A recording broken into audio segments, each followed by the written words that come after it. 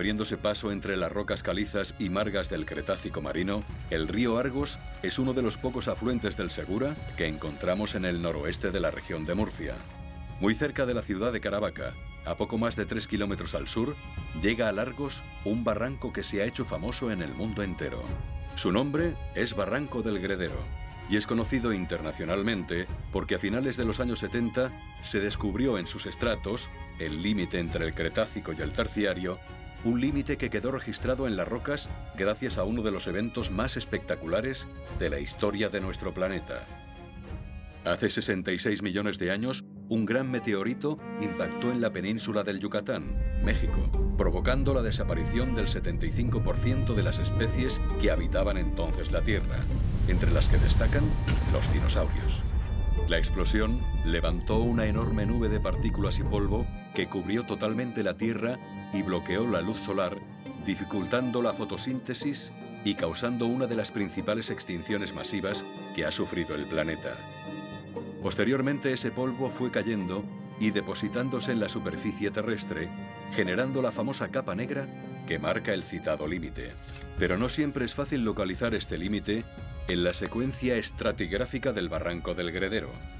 Sus acusadas pendientes, excavadas en las margas blandas, hacen que cada vez que llueva, éste quede oculto bajo el sedimento. En realidad, la capa negra corresponde a un nivel arcilloso oscuro de unos 10 centímetros de espesor, con una alta concentración de iridio y otros elementos químicos de origen extraterrestre. Su análisis ha proporcionado también microesferas originadas por el elevado calor y la presión que normalmente se asocian a los impactos de meteoritos. Pero, ¿realmente ¿Qué consecuencias tuvo este impacto para la vida? Aunque lo más llamativo fue la desaparición de los grandes reptiles, el estudio de esta extinción, aquí, en Caravaca, se basa en otro tipo de organismos que vivían al final del Cretácico. En las calizas cretácicas bien estratificadas del río Argos abundan los amonites, fósiles muy fáciles de reconocer, y los foraminíferos, visibles solo al microscopio. Los amonites fueron unos moluscos que vivieron en los mares mesozoicos de todo el planeta, principalmente durante el Jurásico y el Cretácico. Con una característica concha enrollada y dividida en cámaras por tabiques internos, llegaron a evolucionar muy rápidamente, dando como resultado una gran cantidad de especies diferentes a lo largo del tiempo. Hoy día son muy apreciados por los paleontólogos, ya que son excelentes fósiles guía, permiten datar las rocas con precisión y son muy buenos indicadores de las condiciones ambientales de esos antiguos mares. Por su parte, los foraminíferos, que constituyen la base primaria de las cadenas tróficas, viven formando parte del plancton o bien en el fondo marino.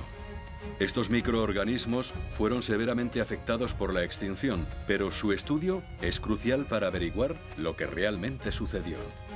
La extinción es un fenómeno natural que forma parte de la evolución de la vida. La gran extinción en masa del Cretácico terciario fue una gran oportunidad para otras especies. Las desapariciones posibilitaron una radiación de los grupos que sobrevivieron ocupando los nichos vacíos. Entre ellos destacaron los mamíferos, entre los cuales nos encontramos los humanos, entre los cuales se encuentra nuestra especie, la humana, que nos diversificamos con gran rapidez. Sobre este límite se ha publicado mucho en revistas de investigación y ha tenido el honor de ser catalogado por los científicos como Yosaid, lugar de relevancia geológica internacional.